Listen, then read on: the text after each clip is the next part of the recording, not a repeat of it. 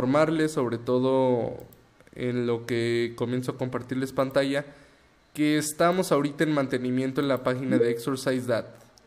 Eh, realmente esto es para beneficio de todos. Tuvimos algún conflicto con el procesamiento de un pago dentro de la página. Entonces, pues bueno, decidimos tomar cartas en el asunto de inmediato para que esto no vuelva a pasar con ninguno de nuestros cursos. También, pues por supuesto, eh, ya vamos a tener un poco más de infraestructura en cuanto a métodos de pagos y disponibilidad. Estamos evaluando la opción de que incluso ahora en el mes de noviembre o el mes de diciembre vamos a tener todo un mes disponible para pago con meses sin intereses para los, los que quieran realizar su pago por medio de PayPal o con tarjeta de débito o crédito. Vamos a tener los meses sin intereses disponibles para ustedes. Además también vamos a aceptar ya pago desde OXO desde nuestra página, así como SPAY, es decir, transferencia electrónica, y también Apple Pay y Google Pay. Ahí pues por supuesto el, el ya antiguo PayPal. Así que bueno, consideren que estos son pues cambios vaya técnicos en los cuales únicamente y exclusivamente buscamos el beneficio de ustedes, la comodidad de ustedes. Como nosotros vemos aquí nuestra máquina Kali Linux, tenemos nuestra Kali Linux y nuestra Metasploitable Ubuntu. Nosotros hablábamos eh, antes de que sucedieran todos los fallos técnicos que nosotros íbamos a tener que ocupar un exploit. Eh, yo les había comentado ya en la clase pasada que un exploit es todo el código que va a aprovechar una vulnerabilidad específica por decirlo de alguna manera.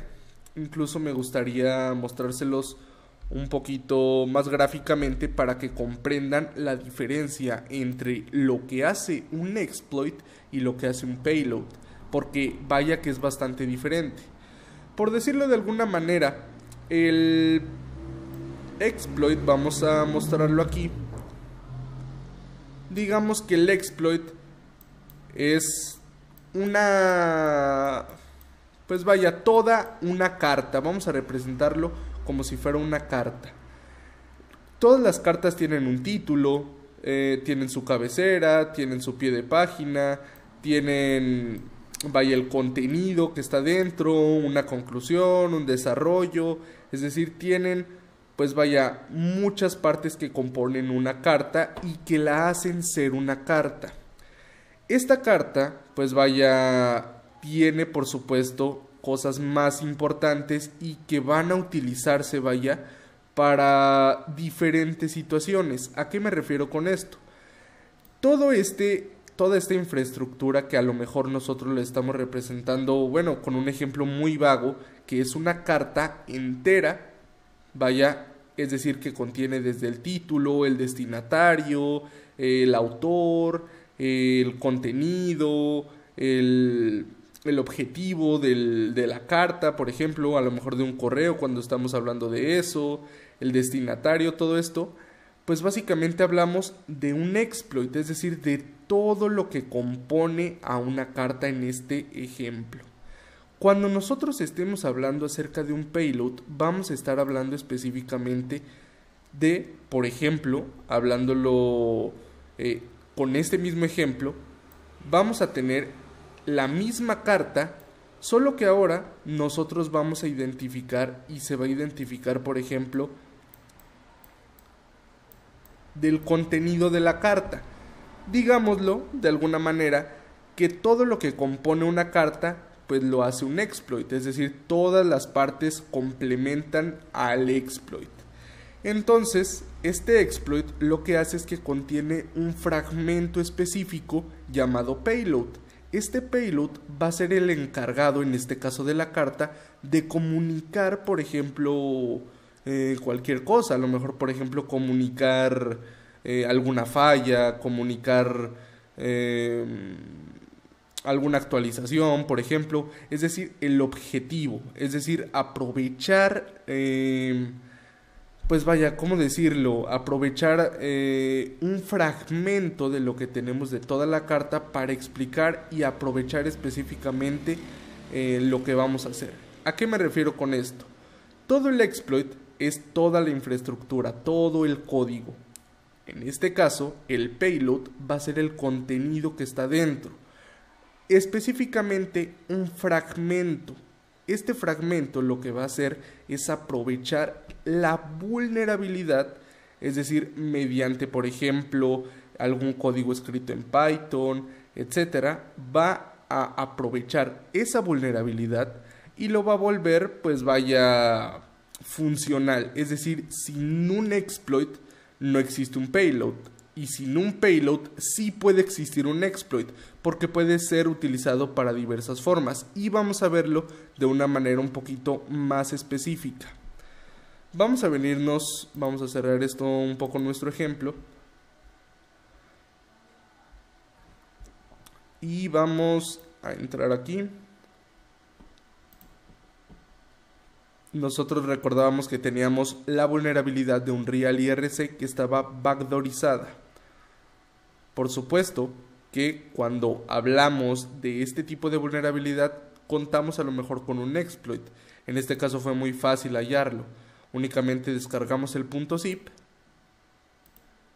y bueno en mi caso ya lo tengo aquí descomprimido únicamente van a dar clic derecho extraer aquí y les aparecerá una carpeta igual a la que tengo yo en pantalla vamos a esperar a que nos abra y esta carpeta y generalmente todas todos los exploits pues contienen por supuesto el código y unas instrucciones lo que nosotros vamos a utilizar, pues por supuesto va a ser este exploit que tenemos aquí. Ahora bien, ¿cómo lo vamos a utilizar? ¿Qué es lo que vamos a hacer para que este exploit sea funcional? Bueno, aquí yo estoy, hice un CD desktop para entrar a la carpeta de Unreal IRC. Después hice un LS para que me lo mostrara, aquí lo tenemos. Vuelvo a hacer un CD. Y ahora, si ustedes recuerdan, esta carpetita contiene un exploit.py. Nosotros, para que ese exploit logre funcionar, logre ejecutarse, logre hacer sus labores, vamos a tener que darle permisos de administrador con el comando chmod 777. Vamos a ejecutarlo. Nos va a pedir pues lógicamente nuestra contraseña porque lo estamos ejecutando con un sudo y listo. Si no nos aparece nada significa que todo está correctamente. Vamos a hacer un clear ls y lo tenemos aquí. Este no le hagan caso, este únicamente lo tengo yo porque estaba editando algunas cositas, pero este es el bueno. Lo que nosotros vamos a hacer para que más o menos visualicen cómo se compone un payload, vamos a abrirlo con Emacs, ustedes pueden incluso abrirlo con Nano, Emacs es un editor de texto Pueden incluso hacer un nano y exploit.py. Vamos, incluso pueden utilizar Genie, pueden utilizar Sublime Text, Visual Studio Code, el editor de texto que ustedes prefieran, vaya. Y vemos que este se compone de varias cositas. ¿Qué cositas? Por ejemplo, vemos aquí que hace algunas importaciones de varias librerías. Nos dice aquí que esto va a ser pues principalmente para definir algunas características de esta librería. Eh, nos dice aquí algo de un target IP. Nos dice, por ejemplo, aquí que tenemos que colocar la local IP y el local port. En este caso, nosotros no vamos a editar como tal este exploit. Eh, muy probablemente los alumnos que hayan estado en Hacking Ético, Offensive and Defensive, la primera versión, recordarán que nosotros editamos el exploit. Incluso habíamos utilizado este, habíamos establecido una conexión con Netcat, etc. Incluso aquí tengo la dirección IP, solo que este está comentado, es decir, no funciona. Tenemos también eh, varios payloads que nos ofrece el exploit ya de manera predeterminada, como lo son un payload programado en Bash, en Netcat y en Python que específicamente nosotros vamos a utilizar el de Python. Sin embargo, eh, muy probablemente ustedes tengan este payload que tenemos aquí. Lo que nosotros vamos a hacer a continuación es comentar ese payload, es decir, si está de esta manera, vamos a comentarlo y abajo vamos a colocar python barra baja payload un espacio igual y un espacio. Vamos a colocarle este F y esta comilla y a continuación pues por supuesto vamos a colocarle el exploit perdón el payload ¿cómo lo vamos a generar? si ustedes recuerdan habíamos visto MSF Venom sin embargo, antes de esto me gustaría presentarles lo que es un meterpreter y que también nos faltó de hablar un, un meterpreter. Permítanme un segundito para para que esté aquí todo bien. Déjenme ver, eh, estoy viendo muchas preguntas. Podrías probar ya sea verlo en la aplicación en la página web, mira si el bloqueo del navegador quizás tenga... Ok, creo que tiene por ahí un compañero el problema de visualizar la pantalla, pero al parecer todo está bien. Gracias a todos por por aquí apoyar a su compañero. Así que bueno, lo que vamos a hacer ahora es inicializar MSF Console. Ya saben cómo se inicializa. MSF Console. Hablábamos de que nosotros vamos a necesitar un meterpreter para, eh, por supuesto, mm, ¿cómo, ¿cómo decirlo? Para migrar y para hacer nuestro ataque mucho más potente que solo utilizar y explotar el exploit que nosotros veíamos de un Real IRC que viene cargado por defecto con Metasploit. Entonces, lo que vamos a hacer a continuación, pues bueno, es bastante, bastante sencillo. Una vez que está inicializado, vamos a hacer un search, que si ustedes recuerdan, este comandito search era para buscar eh, cualquier módulo, cualquier exploit, cualquier cosa. Hacemos un search y nos va a aparecer aquí seguramente el exploit. Aquí lo tenemos, el Unreal IRC. Para utilizarlo, básicamente solo hacemos un use, le podemos dar el 2 o use y colocamos toda la ruta. Nos dice el rango que es excelente, así que es confiable, es decir, que funciona bastante bien. Hacemos un use, si nosotros le damos un show options, todo esto ya lo habíamos visto. Vamos a hacer, eh, bueno, incluso podríamos ver un set show payloads, perdón y nos vamos a dar cuenta que en este caso, para este exploit en específico, no existe ningún payload precargado que nos permita migrar nuestro proceso a un meterpreter. Por lo tanto, nosotros vamos a crear nuestro propio meterpreter. Que esto me parece es en lo cual nos habíamos quedado en la clase pasada, si no mal recuerdo. Habíamos visto también esto, pero esto me gustaría incluso que lo viéramos ahora que que generemos el meterpreter y que pasemos a una tarea de escalación de privilegios. Nosotros lo vamos a generar con MSF Venom, con menos P indicamos que sea un payload de Python, vamos a colocar un Python, meterpreter, reverse TCP, el lhost, recuerden muy bien, ya se los había marcado mucho, el host listener host o listen host, lo mismo el port, listener port o listen port es decir, la conexión escucha, en este caso nuestra máquina. Si ustedes quieren saber la dirección IP de su máquina, hacen únicamente un IPA. A mí por defecto aquí me aparece ya mi dirección IP. Sin embargo, pues vaya, aquí también es súper, súper sencillo. Lo que vamos a hacer ahora a continuación, le indicamos un puerto, por ejemplo, como el 444, que es decir, un puerto que esté sin utilizar, porque incluso en algunas ocasiones puede llegar a haber una extrapolación de puertos y causarnos algún conflicto. Vamos a generarlo. Vamos a esperar un momento y recuerden que MSF Venom, perdón, no es una herramienta que solo termine aquí. MSF Venom nos permite codificar el payload, eh, colocarle una arquitectura, eh, más allá de, por ejemplo, un payload de Python, nos permite incluso alguno de Linux, alguno para Windows específicamente, que también se basa en un meterpreter. Eh, también nos permite hacer cositas, eh, si no mal recuerdo, añadirle una extensión, es decir, ponerle un punto zip un punto exe, un punto DLL, etc. Así que vamos a esperar un segundito a que nos lo genere. Por lo general eh, tarda un poquito, pero bueno, no, no es nada que no podamos esperar. E incluso lo que nosotros podríamos, pues vaya, ir haciendo es lo siguiente. Vamos a hacer un back y vamos a utilizar una herramienta llamada multihandler. Este multihandler básicamente es un administrador de conexiones. Básicamente para los que conozcan de Netcat es lo mismo que hace Netcat pero simplificado, automatizado y básicamente sin hacer absolutamente nada.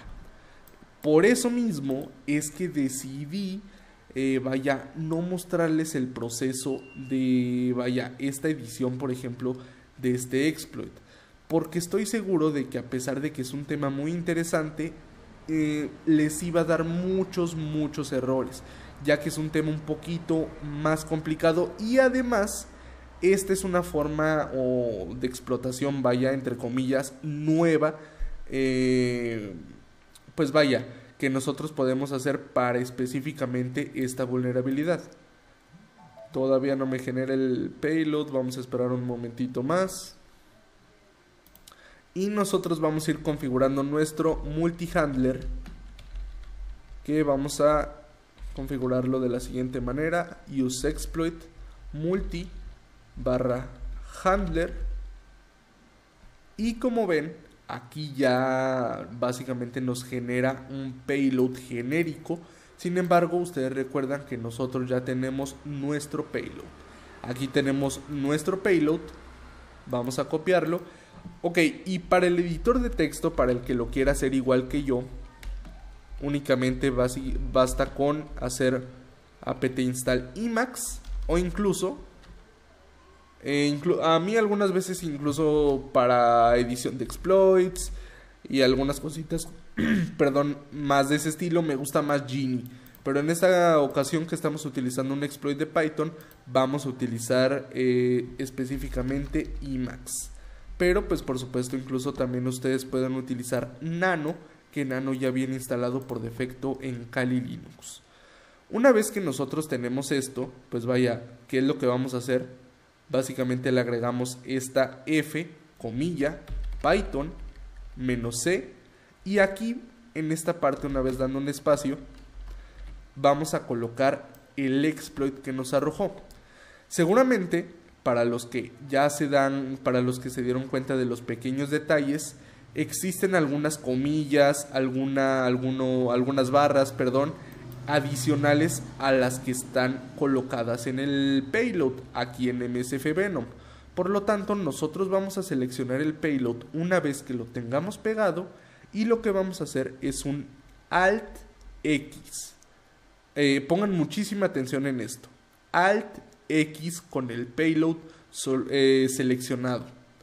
Una vez hecho esto, vamos a hacer un replay string lo ejecutamos. Perdón, eh, eh, a ver. Replace. Es que incluso me parece que no me, no me lo va a permitir porque ya lo tengo editado, pero bueno. Básicamente vamos a hacer un Alt X. Les voy a... Déjenme ver incluso si les puedo mandar aquí el comandito. Para que no, no batallen con eso. Se los mando muy rápidamente.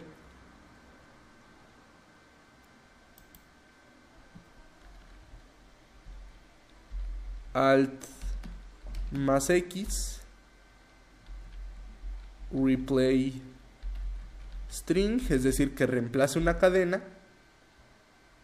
Y una vez hecho esto, nos va a pedir que reemplacemos qué cadena queremos reemplazar. Vamos a colocarle una comilla simple y enseguida después de eso, en el otro campo que nos va a dar, eh, déjenme ver dónde está, una diagonal invertida junto con una comilla, con una comilla simple. Una vez que ya tengamos hecho esto, básicamente lo vamos a tener igual que como lo tengo yo. Si ven que eh, les falta alguna comilla, alguna cosita, únicamente fíjense muy bien en este payload, tómenle una foto. No les va a quedar igual que a mí, es decir, no van a tener el mismo, mismo código.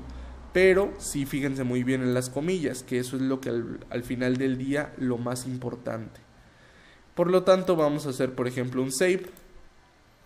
Una vez que ya tenemos esto, vamos a cerrarlo y nosotros pues vaya ya tendríamos nuestro exploit configurado vamos a hacer un clear y para ejecutar este exploit también es muy muy sencillo pero antes de eso antes de que se me olvide vamos a hacerle un show options vamos a hacer un set lhost nuestra máquina Kali, recuerden, 132.128. El L-port ya está configurado y si ustedes recuerdan coincide con el que nosotros habíamos colocado en MSF Venom. Es importante que lo coloquen igual porque si no, no va a tener conexión el multihandler. Hacemos un clear. Ahora vamos a hacer un set payload. Vamos a colocarle nuestro payload set payload python es un meterpreter reverse tcp si no mal recuerdo si así es es un, un reverse tcp lo configuramos nos dice que está todo correcto vamos a hacer nuevamente un show options para ver si nos pide alguna otra cosa y no ya está configurado nuestro lhost y nuestro lport. Vamos a ejecutar primeramente nuestro exploit. ¿Cómo lo vamos a hacer? Vamos a poner un punto, una diagonal, exploit.py y aquí en este caso vamos a poner el rhost y el rport. Recuerden ustedes que esta es nuestra máquina Metasploitable Ubuntu y la vulnerabilidad se encuentra en el puerto 6667. Vamos a hacer un background background. Vamos a comprobar primeramente también la dirección IP, que la tenemos aquí, la 129. Después volvemos a hacer un clear y vamos a hacer un sudo iptables f, f mayúscula, y básicamente ya tendríamos eliminadas las IP tables, las reglas de firewall. Vamos a ejecutar el exploit y por supuesto también le indicamos que queremos utilizar el payload de Python. Vamos a ejecutarlo. Vamos a esperar un momento y nos va a decir que el exploit se mandó eh, satisfactoriamente. Incluso me parece que aquí se me pasó, vaya, pero teníamos que comenzar a colocar el multihandler antes de hacer esto. Entonces vamos a volver a ejecutarlo, vamos a ver si no nos da ningún problema. Y si ustedes se fijan, ya tenemos una sesión de Meterpreter abierta. Es decir, tenemos éxito. ¿Qué podemos hacer? Podemos hacer un get UID. Podemos hacer también un Huamai. Que me parece que no lo va a detectar, así es. Vamos a hacer un get UID. Y nos dice que el username vaya es Boba Fett, que es pues vaya una broma. Entonces, ok, a ver, ¿qué, qué pasó? Meterpreter session is not valid and will be closed. Ok, seguramente algo pasó con las reglas de firewall. El punto es que logramos, eh, vaya, abrir este meterpreter. Vamos a ejecutarlo ahora a continuación. Eh, vamos a ver si nos aparece alguna otra cosita. No, de hecho si se fijan aquí lo tenemos exactamente igual. Entonces no, pues no pasó ninguna, ninguna otra cosa. Mantenemos la sesión de Meterpreter aquí abierta. Seguramente, vaya, pasó pues algún error que no nos interesa en lo absoluto. Este Get UID, este Boba Fett, es un usuario sin privilegios. Entonces vamos a ver algo muy interesante y que estoy seguro que les va a gustar. Sí, ya tenemos un Meterpreter, pero ¿y ahora? Ahora qué, ahora pues vaya, ¿Qué más podemos hacer? ¿Qué, ¿Qué información podemos extraer? ¿De qué se trata todo esto? Bueno, nosotros nos vamos a dirigir a esta ruta que tenemos aquí, User Share Metasploit Framework, módulos, Post, Linux y Gather. Una ruta que nosotros ya veíamos anteriormente. Cuando hacemos un LS, vemos todos los módulos de recopilación de información, específicamente, perdón, de, eh, de postexplotación para un Linux. Por lo tanto, estos van a servir para lo que ya les mencioné, para obtener información una vez que hemos comprometido esa máquina. Vamos a ver, por ejemplo, este, este modulito. Vamos a hacer un copy selection y lo vamos a ejecutar dentro del meterpreter. ¿Cómo lo ejecutamos? Vamos a hacerle un run post linux gather que vaya ustedes pueden utilizar y comprobar todos los módulos que ustedes quieran ¿eh? Eh, realmente yo les voy a mostrar uno que otro pero no son todos los compatibles. Hay unos que sí se puede y hay otros que no. Vamos a ver en qué se basa eso. Vamos a hacer un run. Vamos a esperar un momento. Y qué es lo que nos dice que básicamente esto lo que hace es verificar si es una máquina virtual. Y nos dice que aparentemente es una máquina virtual de VMware, lo cual es cierto. Vamos a utilizar otro como uno que a mí personalmente me gusta mucho, que es el RON Enum System. Eh, vamos a ver dónde lo tenemos. Aquí lo tenemos, el RON Enum System. Básicamente indicamos lo mismo, Linux,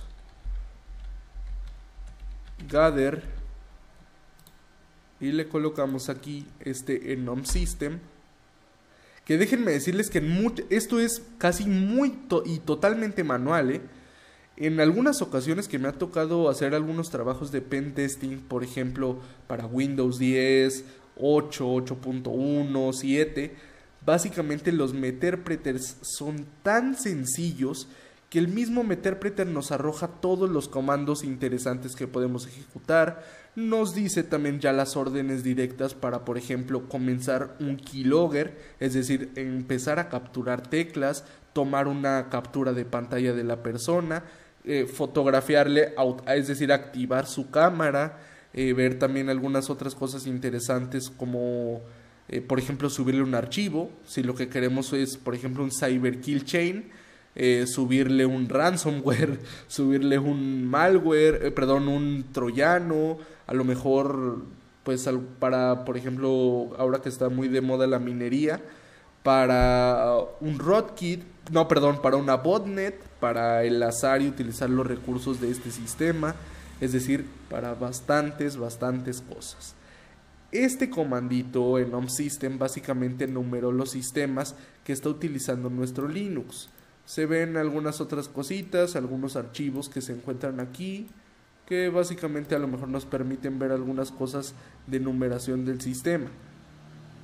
Por ejemplo, en este caso también nosotros podríamos, digamos, ver que nos arroja algunos logs y también dónde están almacenados. Es decir, esta información a lo mejor nos puede ayudar eh, para detalles de la escalada de privilegios. Vamos a ver otro comandito, como lo es el post Linux, gather, hash dump,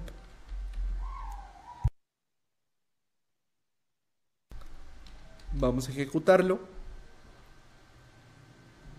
y si se fijan que es lo que nos dice cuando hacemos este hash dump no recuerdo si les había mencionado pero seguramente los alumnos del website hacking ya conocen este directorio de Shadow y también aquellos que sepan de Linux.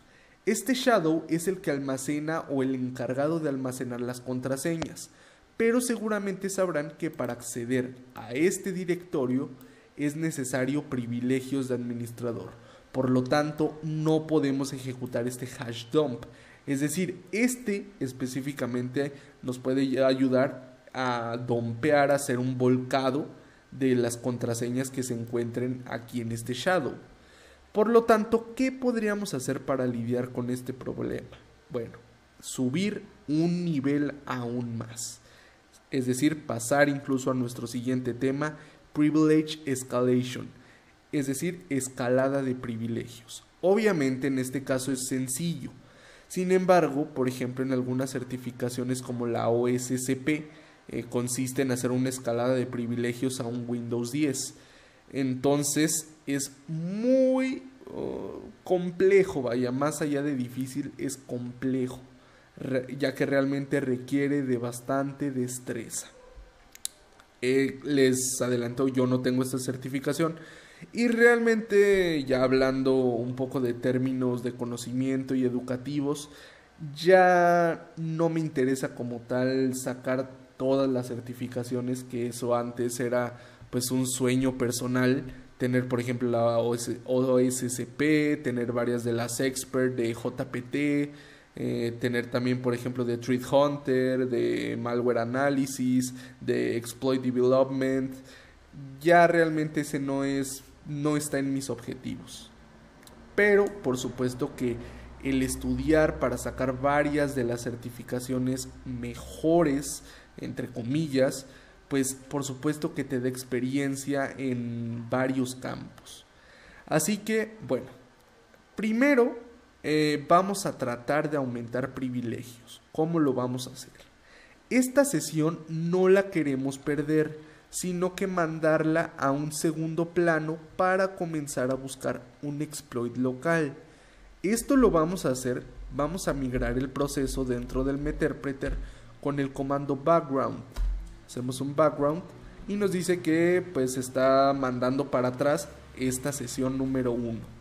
Si nosotros hacemos un sessions, nos va a aparecer aquí y nos dice el meterpreter que tenemos aquí la sesión activa, la conexión y desde dónde estamos conectados y hacia dónde. Sabremos que la tenemos activa. Así que ahora les voy a mostrar un módulo muy interesante que es pues vaya bastante bastante interesante de utilizar. Vamos a hacer por ejemplo use post raycon local eh, exploits si no mal recuerdo Vamos a ver si me lo permite utilizar. Eh, incluso... Bueno, muy probablemente a lo mejor y no está disponible para esta versión. Pero este específicamente, o incluso déjenme ver si nosotros hacemos un back, espero que espero no espero que no perdamos la sesión. No, no la perdimos. Nosotros vamos a ver, por ejemplo, este use post multi ok perdón perdón perdón perdón use post multi raycon local perdón exploit suggester incluso la verdad ya no recuerdo si aquí lo tenemos específicamente este es un recomendador de exploits. Nos va a permitir, nos va a decir los exploits automáticamente que este nos recomienda.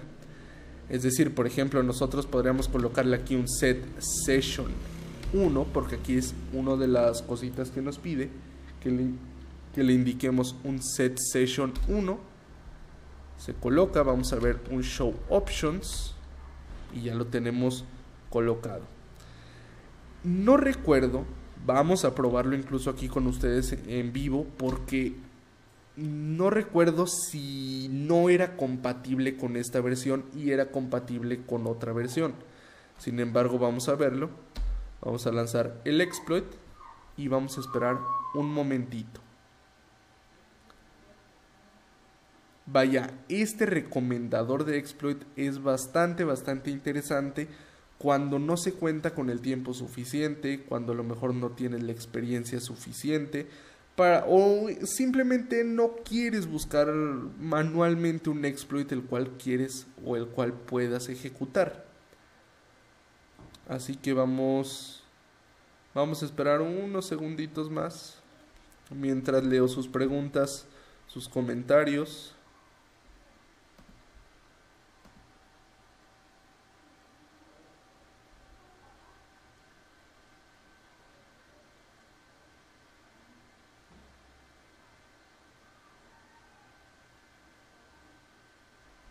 Por donde se compartieron las máquinas vulnerables. Se compartieron en... Pues por correo electrónico se las mandamos, se las mandamos también por el grupo de WhatsApp. El lunes comentó que había compartido un Windows 10 para el laboratorio. Sí, así es, es un documento acerca de hardening. Realmente no sé si nos vaya a recolectar aquí un exploit. Es pues probable que a lo mejor sí o probable que a lo mejor no. Este Kali Linux que yo tengo actualmente es el 2022.3. No recuerdo si la versión eh, con la que alguna vez llegué a explotar esta vulnerabilidad eh, era con el 2022.2 o el punto 1, pero el punto era que no permitía o vaya, no nos aparecía nada de esto. Sin embargo, sí les recomiendo que si llegan a tener una sesión con Meterpreter, eh, ejecuten este exploit y lo dejen corriendo, déjenlo haciendo su trabajo. En este caso, pues bueno, nosotros vamos a cancelar la tarea, pero pues a lo mejor, incluso fíjense, ya nos está cargando. Pero profe, se supone que es, es la versión más nueva mejor es, no es así. efectivamente, em, por supuesto que se supondría, la verdad no lo he, no lo he utilizado este, este recomendador de exploits en esta versión. Sin embargo, puede que ya lo hayan corregido algunas de las cositas que ya habíamos hablado. La, ¿Cuál es la versión de Kali Linux recomendada? Yo siempre le recomiendo la más nueva que es la punto 3, la 2022.3. La idea es ver la escalada de privilegios completa. Así es, la vamos a ver, no se preocupen. Yo de todas maneras conozco ya el exploit que se utiliza específicamente para esta máquina para realizar una escalada de privilegios. ¿Cómo podríamos hacer bypass de antivirus en una PC de Windows? Esta es una pregunta muy interesante. Si ustedes trataran de ejecutar, por ejemplo, un payload que les arroja MSF Venom o Metasploit contra una máquina Windows, sabemos que el Windows Defender va a bloquear totalmente el payload y cualquier intento de acceso. Así que, ¿cómo se puede bypassear? Bueno, les voy a recomendar que utilicen alguna herramienta específica para la creación de payloads y su encodificación, como lo puede ser Veil o DFAT-RAT cualquiera de esos dos para la creación de sus payloads y para que pase totalmente desapercibido. Vamos a ver si vamos a esperar un poquitito más.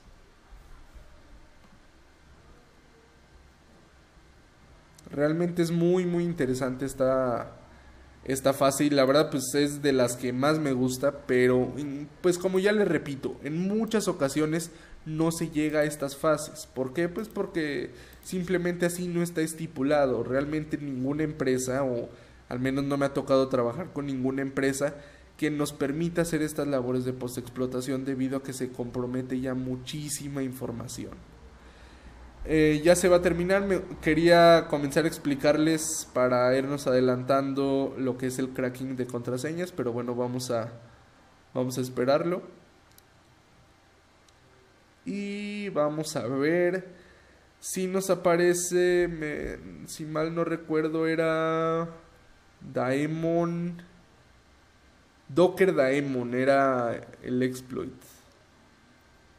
Si se fijan aquí, nos aparece un exploit para el cual es vulnerable. Nos aparecen dos, nos aparecen tres, nos aparecen cuatro, ya cinco.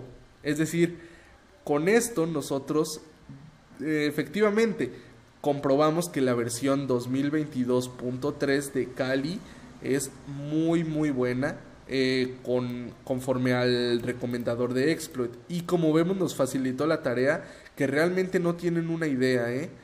No tienen una idea de lo buena que es esta herramienta y lo fácil que nos hace las cosas. En este caso nos dice que es potencialmente vulnerable.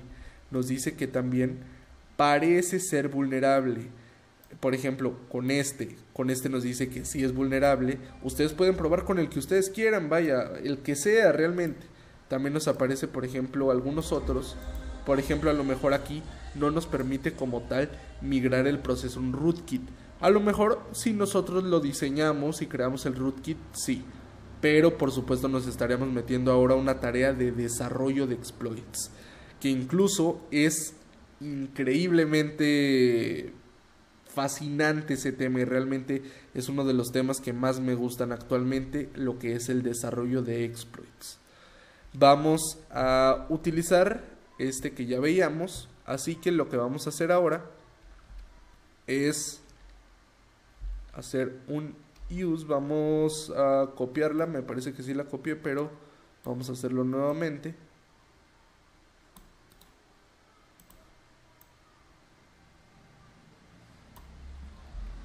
Vamos a hacer un use. Vamos a colocar este exploit. Y ya tenemos aquí nos dice pues que por supuesto no hay un payload que está configurado. Por lo tanto lo que nosotros vamos a hacer ah y también me faltaba decirles que esta máquina Ubuntu tiene una versión de Docker que es vulnerable a una escalada de privilegios por lo cual nosotros vamos a poder usar este exploit para elevar nuestros privilegios de usuario normal a usuario root. Este es un exploit local. Quiere decir que nosotros ya deberíamos de haber comprometido esa máquina para después ejecutar este exploit sobre ella. Vamos a hacer un, perdón, un show options y vamos a establecerle aquí el set session 1 que es el número de nuestra sesión. E incluso si ustedes se fijan, ya estamos generando persistencia, ¿eh? porque aquí ya lo tenemos en un segundo plano y ni siquiera hemos salido. Así que ese podría ser otra, otra tarea de post-explotación. Vamos a hacer un set payload. Vamos a colocarle un payload bastante, bastante conocido que es el Linux x86, que es la arquitectura meterpreter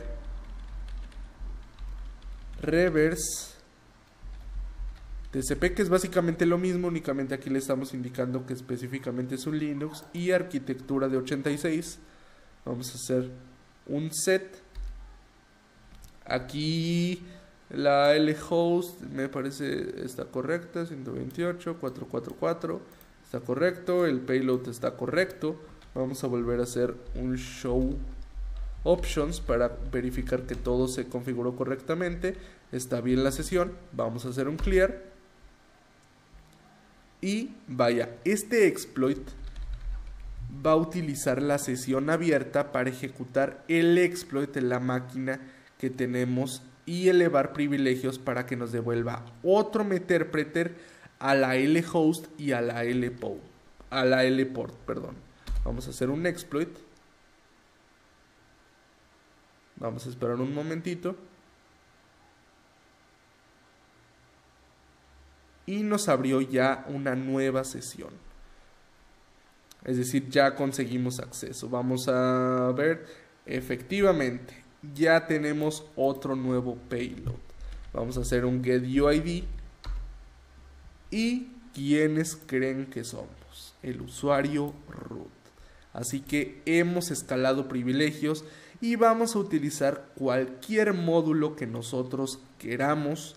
Y vaya ahora sí que por ejemplo nosotros podríamos hacer el hash dump que nosotros veíamos anteriormente.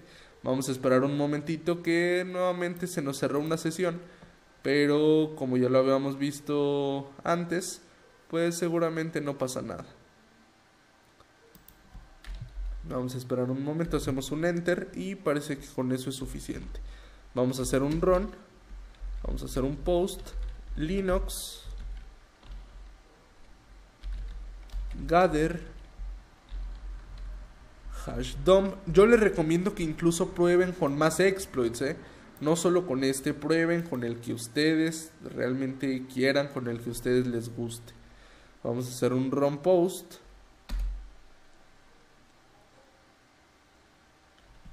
Prueben, vaya a ver qué más les aparece. Si ustedes se fijan aquí, ya tenemos, por ejemplo, nuestras credenciales de background. Que si ustedes recuerdan, pues sí, efectivamente es background, background. Por lo tanto, pues tampoco hay demasiado que investigar. Esto sería el hash. Así que bueno, aquí tenemos todo el dump del fichero de Shadow, con el usuario y contraseñas hasheadas por el momento. Yo les recomiendo de nuevo que jueguen con más módulos de postexplotación. Aquí tenemos otros más.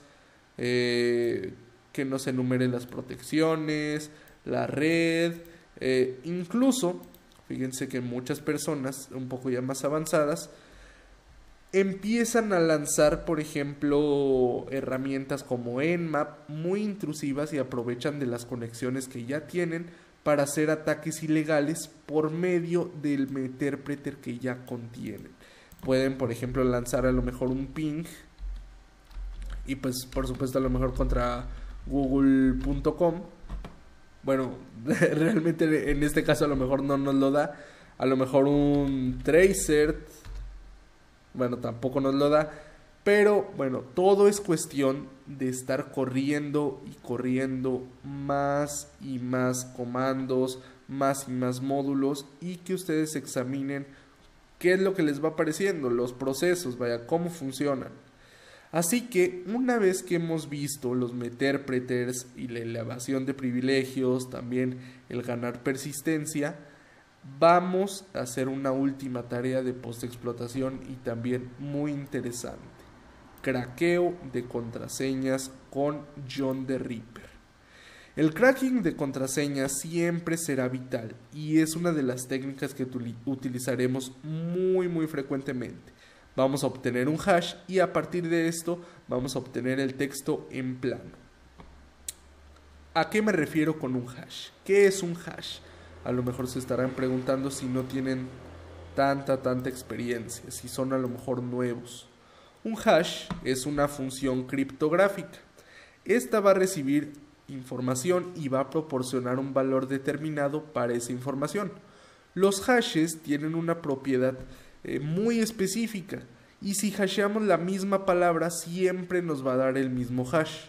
Si nosotros modificamos, a lo mejor le agregamos un número, le quitamos una letra, a lo mejor le mm, colocamos una letra en mayúscula que antes no tenía, se va a modificar el hash por completo. Y a partir del hash es muy complicado obtener la palabra original, entre comillas. Es por eso que en muchas ocasiones se utilizan a menudo para controlar la integridad de la información.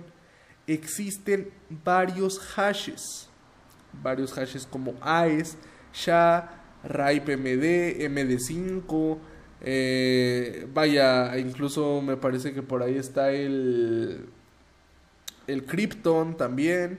Es decir, vaya, cada uno tiene su función y los vamos a ver en la siguiente sección de hardening. Y esto es bastante, bastante sencillo de que nosotros lo comprendamos. Únicamente hay que tener en cuenta una cosita.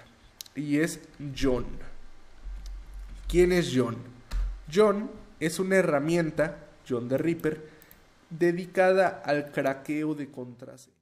Después de los problemas técnicos del día de ayer, básicamente vamos a ejecutar este mismo comando del cual hablábamos y vamos a hashear la palabra América. Esta palabra la vamos a hashear en un hash de tipo MD5 Zoom y el archivo se va a llamar de esta manera. Cuando nosotros le hacemos un cat al archivo nos aparece el término hasheado.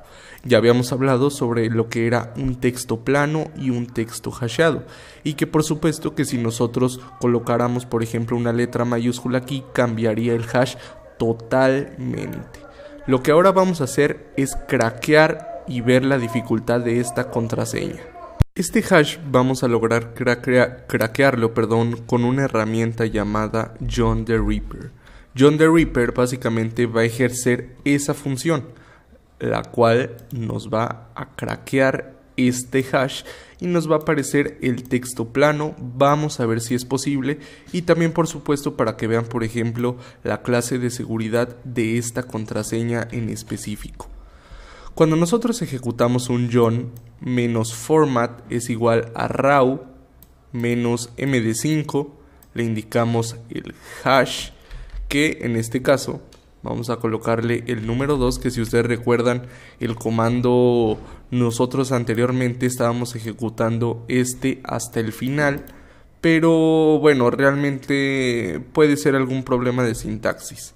En este caso lo ejecutamos de esta manera vamos a ejecutarlo con el directorio rogutxt y vamos a ver cuánto se tarda en craquearla y sobre todo si nos aparece el texto plano o no y una vez que tengamos esto ya nos dice que ya se cargó una contraseña y que ya no queda ninguna contraseña por craquear.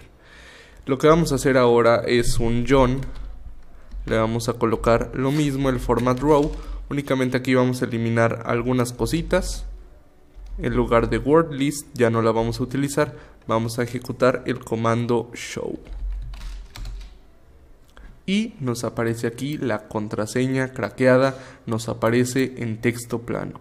Esta misma tarea ustedes la pueden ejecutar, por ejemplo, con sus propias contraseñas y yo les recomiendo que lo hagan para determinar a lo mejor la calidad de contraseñas que, que ustedes tienen.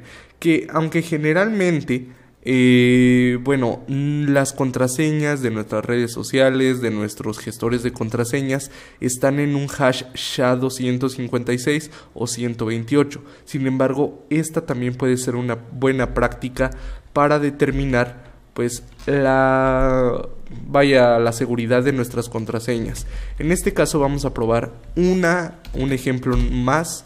Vamos a generar el hash y aquí únicamente le cambiamos el nombre y vamos a poner la contraseña Lupita 123 que también es una de las más comunes curiosamente aquí en México.